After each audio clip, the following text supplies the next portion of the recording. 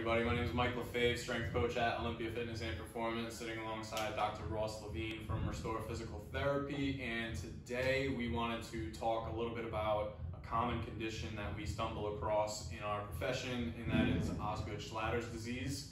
And that is something we typically see in the growing adolescents who are very active, kids who play a lot of sports that involve a lot of running, jumping, cutting, uh, particularly basketball, soccer, football, you name it. But we're just going to talk a little bit about it. I'm writing a little blog on it right now, but I wanted to get a physical therapist perspective on it as well as mine, and hopefully we get some helpful content out to you guys. All right, so I'll let, I'll let Ross talk a little bit about it, and then we'll just have a follow-up conversation. Sure, thanks Mike. So uh, my name is Dr. Ross Levine. I work here at Restore Physical Therapy and we are inside of Olympia Fitness and Performance. Um, so if you haven't been here to check us out, make sure you stop by and check out our facility. Um, Osgood-Schlatters disease is something that we see quite frequently here. Uh, like Mike said, a lot of times it's in the young athlete, right, our youth athletes. Um, but we do see it across the, the, lifespan as well. So we will see older clients that do have this as well, that are just active adults trying to, you know, live their lives and enjoy the things that they like to do. Um, but basically what Osgood-Schlatters disease is, is as the, the body starts growing, and typically we see this in athletes, young athletes with big growth spurts, um, where the bone is actually growing a lot faster than the muscle. So the muscle can't catch up, it becomes very tight, and the tendon starts to pull on that bony prominence. So because of that, we get this overgrowth of bone, it becomes irritated, inflamed, and then it causes some pain. So generally that's right at the base of the kneecap here, just underneath it. It's called the tibial tuberosity, right on the shin bone.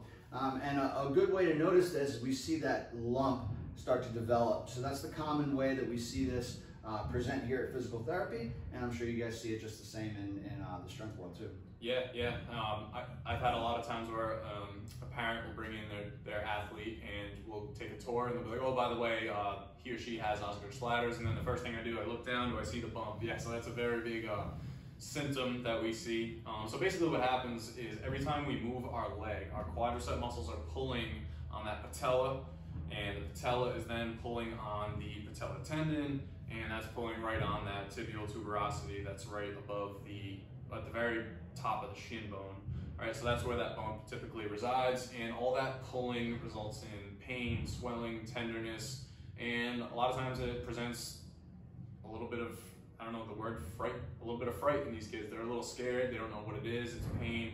Um, so if your child is, or your young athlete is coming up to you saying, mom or dad, my, my knee's really hurting, that is when it's a good idea to come see a physical therapist or a strength coach who can help you with this. And the beautiful thing about Olympia Fitness and Restore is that we're both in the same building and we can collaborate on these things. So I'll let Ross kind of talk about what his initial um, visit would look like for somebody who fits that description. Yeah, so anybody who comes into our doors and they're talking about knee pain, you know, whether they've been diagnosed with Osgood-Schlatters by their primary care, or an orthopedist, um, you know, we're not here to treat a diagnosis, we're here to treat symptoms. So the very first thing we do on all counts is we go through a full evaluation. So if someone's complaining of knee pain, we'll probably start to look from like the waist down. So we'll check the lower back, the hips, the knees, the ankles, and we start to determine, okay, maybe we do have pain in one spot, but are there other weaker areas that need to be addressed um, that might be causing this pain? Um, now, in the you know the case of Osgood-Schlatters, it's pretty point specific where we have knee pain, we know exactly what it's coming from, but we're still going to evaluate the entire body, look through the areas, find the root cause of the pain, uh, of the pain and the problem, and then we get down to developing a plan on how to treat it. And the first steps to that plan is usually going to be pain relief, right? So some of the modalities that we might use with our hands-on therapy is something called uh, instrument-assisted soft tissue mobilization. Some people would uh, know that as called Graston, right? It's a, uh, basically we take a stainless steel tool, we scrape along the painful areas, whether it's the muscle, the tendon, that bony prominence. Uh, we're gonna create like a healthy inflammation, and that's going to help with the healing process and modulate some of that pain. Um, we may do some joint mobilizations, we move the patella around, we're gonna do some knee flexion, knee extension, just make sure everything's moving the way it needs to. And then from that point, we'll start developing a plan on how to get a little bit stronger, and that's kind of where you guys come in. Yeah, yeah. So a common misconception out there, everybody thinks like, oh, I have knee pain, so I'm just gonna stretch, stretch, stretch. Ross made a great point earlier about how that can be somewhat of a problem because in that process we might be neglecting the strengthening aspect of it, and that seems to be where we see eye to eye as the most important factor. Um, so I'll let you go a little bit on that realm. Yeah, of course. You know, and even not if we're we may not even be talking about the youth athlete. We might be talking about someone who's a little bit older, just the active adult who's having some anterior knee pain. Uh, they may have been diagnosed with Osgood-Schlatter's as as a youth but now it's presenting as something like patellofemoral syndrome or patellar tendonitis. But we go about treating it about the same way. So if we have a tendon injury, we're not going to constantly be stretching on that tendon. You know, if we think of the tendon as an anchor that claws into the bone and holds the, the muscle tight to the bone, when we have a tendonitis or an inflammation, that tendon becomes weaker. So now that grip onto the bone becomes a little softer. If we start stretching that muscle out, we're actually pulling the tendon from the bone causing more inflammation, more irritation, more pain, and it slows down the healing process. So to a degree, stretching might be a decent idea, but we also want to make sure we're strengthening that tendon. So we always put eccentric strengthen, uh, strengthening into our program. So whether that is a um, like a descending single leg squat, maybe off of a, a wedge or a step, something like that. You know, some different ideas might be good to help strengthen up the quad and build some strength in that tendon to help decrease pain. Yeah. And this condition is also known as it's the epitome of growing pains in these youth athletes where their growth plates haven't fully fused yet because they're still growing. And those areas where the bones are still growing happen to be the most susceptible to pain and injury. So if you're one of the, you know, uh, it's, it's an unlucky condition, not everybody gets it. No two bodies are the same. We all grow at different rates. So if you're one of these people who suffers from this, it's important that you talk to a professional who can help you in terms of pre-competition and post-competition recovery modalities.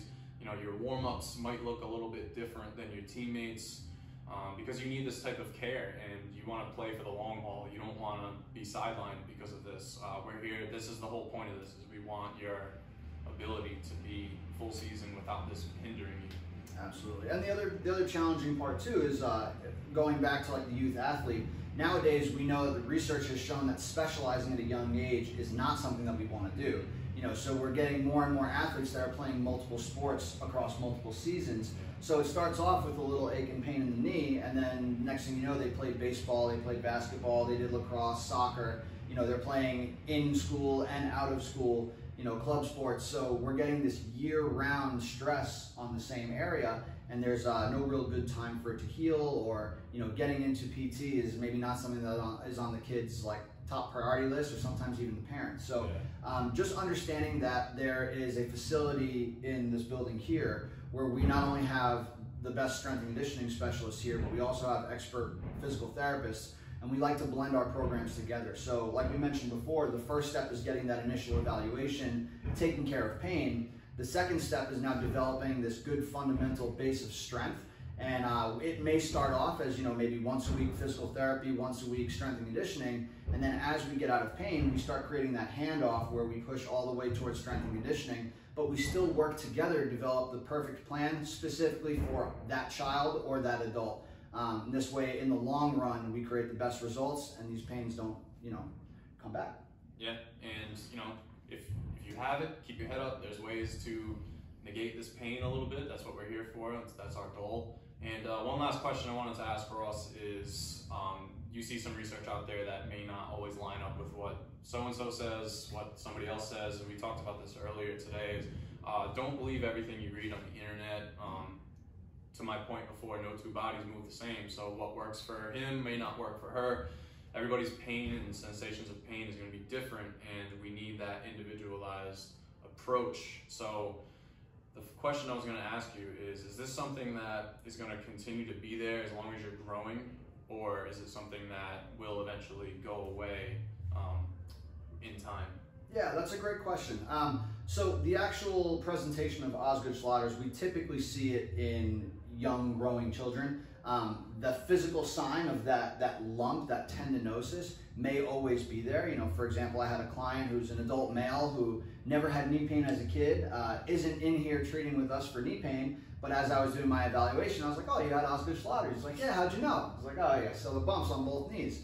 Um, but it never bothered him. So, you know, in certain situations, yes, that, that pain may not be there, but the physical sign of it uh, may still be there. And again, later on in life, it may present itself as something different, like a patellar tendonitis, a patellofemoral syndrome. Um, but like Mike was alluding to, you know, the, the big thing we try and talk to all of our clients about is don't go to Dr. Google or Dr. YouTube, you know, um, because not everybody is the same.